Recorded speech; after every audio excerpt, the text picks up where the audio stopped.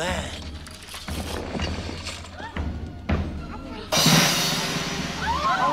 Origin of the Crypt Keeper.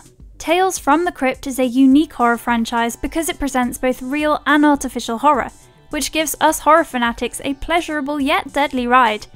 Naturally, the iconic anthology became a favourite among the masses as soon as it premiered, but a significant contributing factor to its success has to be its famous narrator and host, the Crypt Keeper. He used a plethora of puns and introduced and concluded the show in his well known outspoken manner. The show ran for seven seasons and comprised more than a hundred episodes, but there was one episode titled Lower Berth that detailed the origin story of the Crypt Keeper. The show was known for its surprise endings, and the episode Lower Berth followed suit.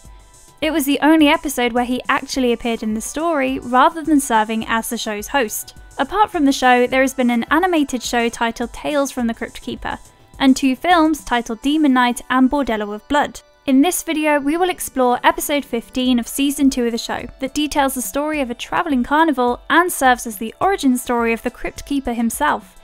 Furthermore, we will chalk out the differences in the origin stories of the Crypt Keeper from the show and the comic on which it's based. Before we go into our list, we have a very small request. If you like our content, please support us by subscribing to our channel. This is a small click from you, but it means a lot to us. Thank you. Let's begin.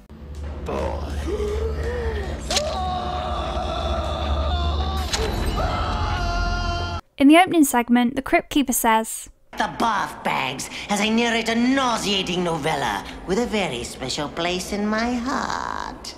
As many of you would know, these carnivals and their attractions were the only sources of entertainment for people in the past. There was no radio, films, television, internet, or even comics. These carnivals would settle in open tracks near small towns. Sometime around the third quarter of the 19th century, a carnival arrived at a small town in the Ozark Mountains. The carnival brought with it Feely's fantastic Fairway of Freaks, which had several attractions, like an enormously large fat lady, a family of dwarfs, and more. What made Feely's show a hit among the townsfolk was Enoch, the two faced man. He was a grotesque looking person with another face growing from the right side of his face. Both these faces had an array of decayed teeth, eyes that resembled an old man, and hair that seemed to be falling off due to sickness. Enoch was owned by and brought to Mr. Feely by one Mr. Sickles, who maltreated Enoch and released his anger from other issues by thrashing Enoch.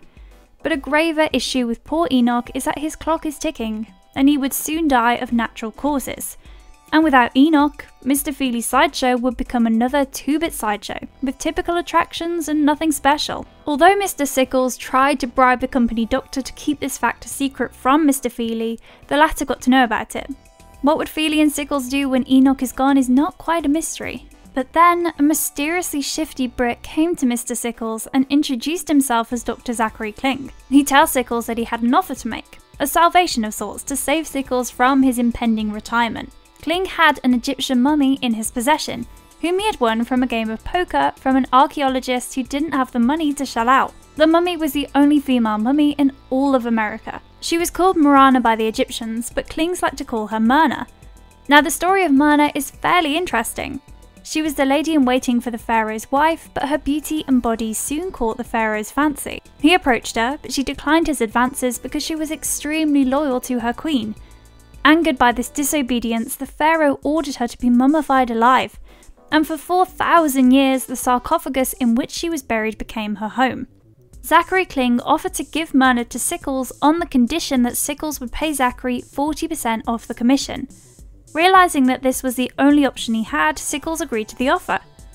Myrna turned out to be a blessing for Feely's fantastic Fairway of Freaks. With her as a new attraction, people started to show up for the sideshow in large numbers.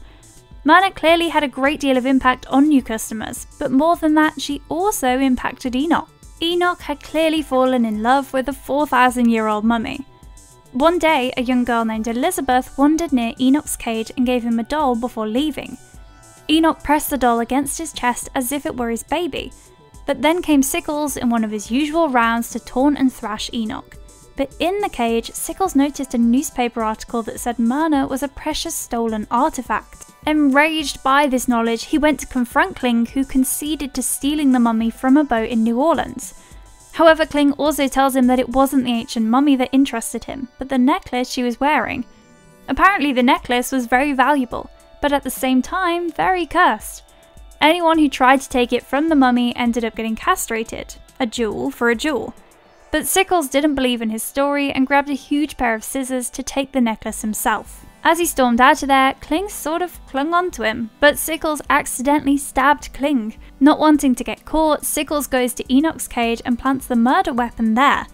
After which, he goes to Myrna, and after much struggle, he manages to pull the necklace out of her bony and decaying neck. But Enoch had had enough of Sickles' sick treatments by now.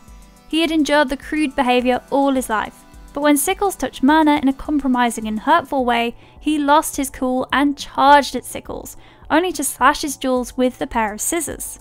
Strangely, the castration curse that Kling was talking about had been fulfilled. Mr. Feely didn't know about these events and resumed his show as per schedule, only to find that Sickles was placed in Myrna's sarcophagus and Enoch was gone. Enoch had taken the very dead Myrna and disappeared into the dead of night. A year later, the police show up at Mr. Feely's sideshow to inform him that his missing attraction has been found in a cave.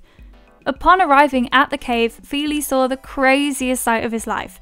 And remember, he runs a freak show business. Enoch, the Two Faced Man, and Myrna, the long dead mummy, were lying wrapped in each other's arms. Feely and the cops left the place, but they missed another being present in the vicinity. The result of Enoch and Myrna's copulation, the fruit of their twisted tale of love. It was a hideous baby. It was the Crypt Keeper. As we mentioned earlier, the episode was based on the 1950 comics Tales from the Crypt issue 33, and the show took some artistic liberties to have a few changes made from the comics.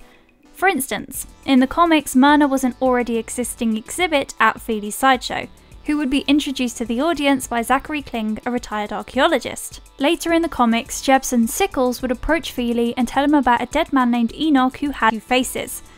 So in the comics, Enoch had already been dead and would be preserved with formaldehyde. Furthermore, Enoch and Myrna escape from their containments and get married. But the most striking difference between all of the Crypt Keeper comics and the shows is the appearance of the Crypt Keeper. In the show, he looks like a deformed, decaying, and skeletal figure, but the comics present him as an old man with white hair. This is all the time we had for today's episode. We hope you guys liked it. It would be awesome if you guys can take some time to subscribe to our channel. And don't forget to tell us which topic you want us to cover in the comment section. Have a fantastic day ahead and stay safe. Oh, there, there. Isn't he just so cute that you wanna